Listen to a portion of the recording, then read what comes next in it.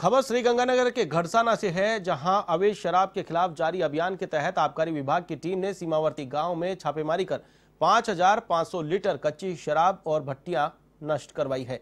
इसके साथ ही हथकड़ शराब बनाने के लिए इस्तेमाल किए जा रहे कच्चे माल को भी मौके पर ही नष्ट करवाया गया है।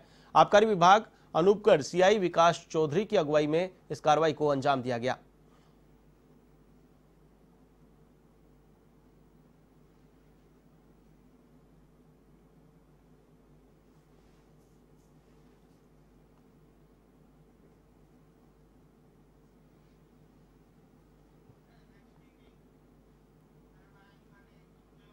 पश्चिम बंगाल के राज्यपाल जगदीप धन